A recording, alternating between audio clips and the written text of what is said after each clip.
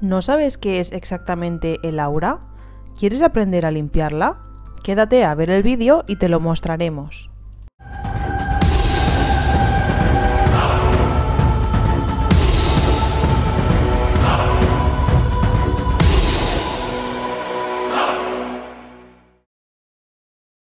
Hola chicos, en el vídeo de hoy os ayudaremos a entender mejor qué es el aura y las energías que tenemos.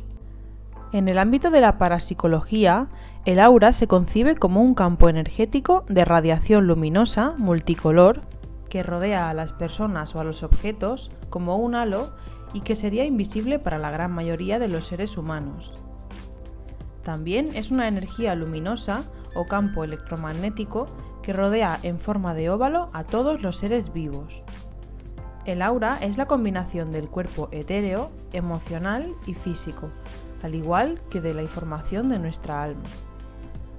El aura usualmente se extiende entre 1 y 3 pies de distancia del cuerpo físico en todas las direcciones, rodeando a la persona como un huevo de luz de múltiples capas.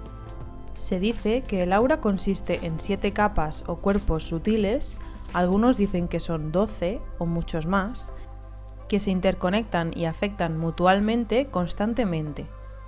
El cuerpo etéreo es el más cercano al cuerpo físico y usualmente refleja nuestra salud física y nuestros instintos más básicos. Se manifiesta usualmente con un color azul o plateado suave, pero si existe una enfermedad se torna en colores oscuros, sobre todo alrededor del área afectada.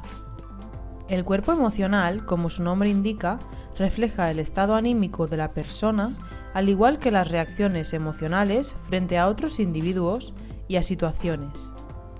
Por esta razón es la capa del aura más inestable y cambia continuamente de acuerdo con el estado de ánimo de la persona.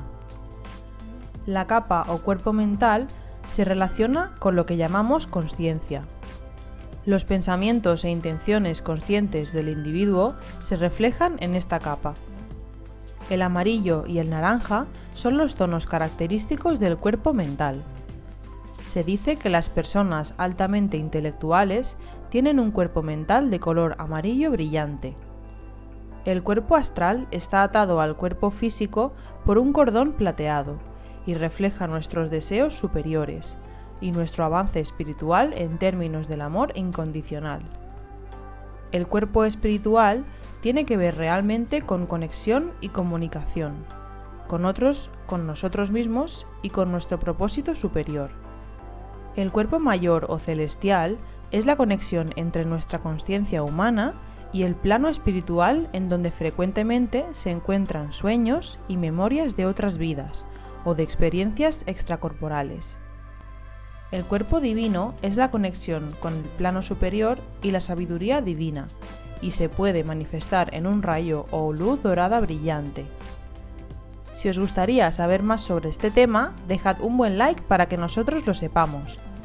Si queréis saber cómo limpiar el aura, dejádnoslo saber en comentarios para subir el vídeo. Un abrazo muy fuerte y nos vemos la semana que viene en el próximo vídeo.